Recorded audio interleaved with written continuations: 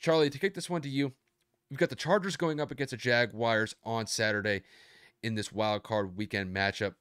Who do you think is going to win and why? So it's kind of tough. They're both almost identical teams in the sense that they both have young, huge arm, big stature quarterbacks that are coming a draft apart. One was drafted three years ago, and one was drafted two years ago. They both had uh, head coaching issues. They both don't really have a running game. Both offensive lines are up and down. They've both had injuries. Their defenses are mid level. They both have good pass rushing defenses, but it's about it. The the Chargers the past like six games have been outstanding in defense in comparison to what they were putting out at the beginning of the year. But it's basically they also played back the first six games. Uh, I think it was around week five or six, and the Jags routed them. But the Chargers were beat up. I think that was the game or two after Herbert got his ribs cartilage broken. Like they were a shell of the team that we're seeing now. And it, it really comes down to the the Jags are pretty much healthy. The Chargers still aren't going to have their left tackle, Rashawn Slater. He might, he, if they can advance, he probably will be back the next game, uh, which would be huge. But it really comes down to if Mike Williams plays, because Mike Williams, he Staley put them all in, uh, put all their starters in for like three and a half quarters of that last game, and he went out with back spasm, which there was a back contusion, so he had a back bruise. Uh, if he plays though, there's not enough defenders to be able to cover Mike Williams. He's an uncoverable player. So with the the spread right now is what one and a half. Uh, the Chargers. So I guess the they have like that one point home field.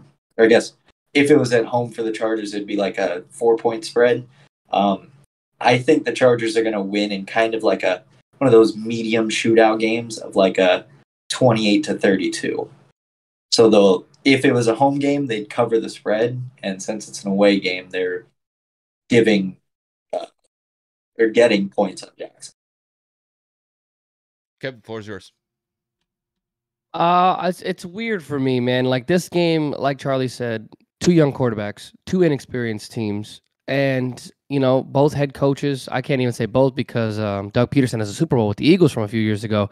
So uh, one head coach is kind of like very inexperienced and very inconsistent with play calling. So I'm I'm for whatever reason, I don't know if it's AFC South biasness or what. I have Jacksonville winning this game. I just believe that Jacksonville's pass rush has uh, improved over the course of the last few weeks. I think that their secondary has made plays when they needed to. And I think that Trevor Lawrence has been playing at an exceptional level lately. Travis Etienne is finally coming out of his shell and showing everybody uh, his potential. And then I also believe that the wide receiver corps of the Jaguars makes plays when they need to. And Evan Engram has been doing relatively well as uh, also. Um, you know, for me, it's it's I think that the Chargers have too many injuries. I think Mike Williams' back spasms or injury, contusion, whatever you want to call it, may come back to bite them in the end because, I mean, one of their best receivers is not going to be at full capacity. They've had the injuries to the secondary, they've had multiple injuries to the wide receiver corps all season long. The only thing is, Austin Ekeler is a man amongst boys. I mean, the guy had an incredible season fantasy football wise, all purpose yard wise. I mean, he can run between the tackles, he can catch behind the line of scrimmage, he can just make plays. And with Justin Herbert's arm, I mean, it, it's really hard to go and bet against LA. But I don't know what it is. Like I've been talking to Kyle about this all year. Whenever I have these weird gut feelings, I just have to pick the pick. You know what I mean? And I just feel like Trevor Lawrence is going to be ready for the big stage. All the guy does is win at every level. I know last year he had a pretty atrocious rookie season and campaign, but Urban Meyer was a, a, big portion of that to blame, and Doug found a way to turn that around. I think Jacksonville ended the season on a five or six game win streak of their own, and, and they found a way to get it done. So um, I got Jacksonville, man, and that's not like me to go and pick the Jags, division rival. Not a team that I like very much, but I just I think that Trevor Lawrence is ready for that next step. And uh, you know, it's both quarterbacks postseason debut, so it's who's going to come out on top. It's, I'm just very curious. Uh, for me, this is a very tough pick for me uh, just because I think really both teams have a good chance to win this game.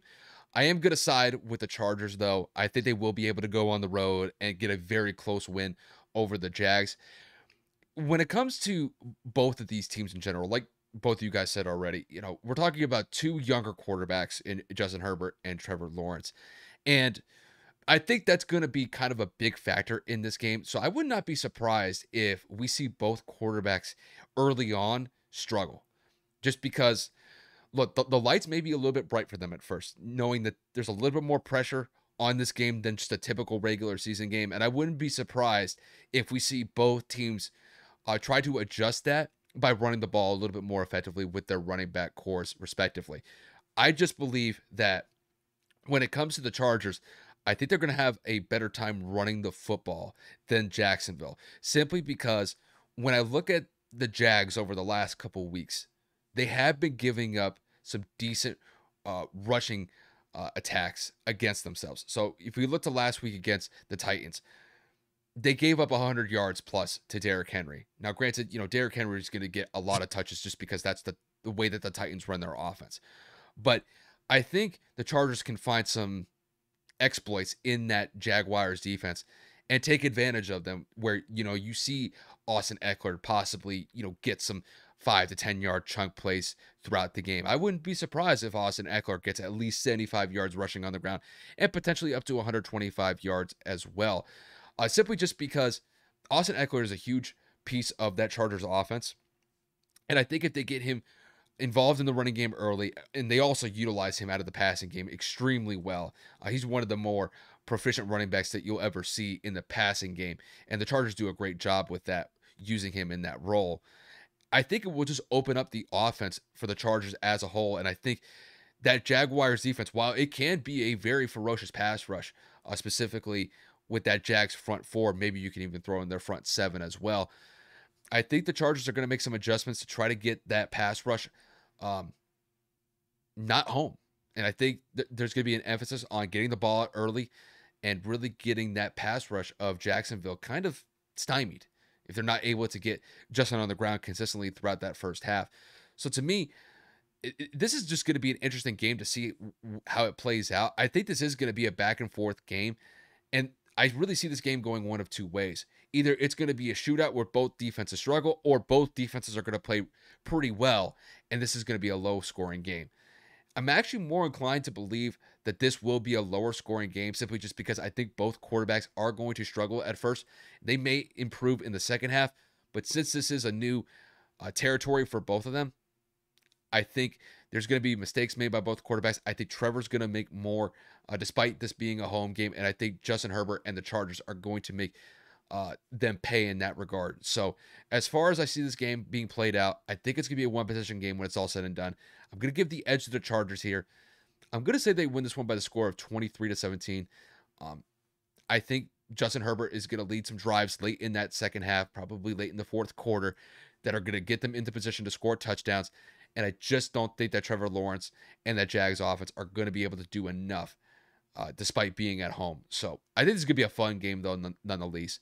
And um, with two quarterbacks like this that are young and have a lot of potential to go, um, I don't think it's going to be like a death nail in the coffin for their individual careers. I think there's still a lot left uh, for these guys. They have a long way to go in their NFL career. But I'm going to give the edge to Justin Herbert and the Chargers, and I think they advance to a divisional round uh, after this weekend is settled and over with.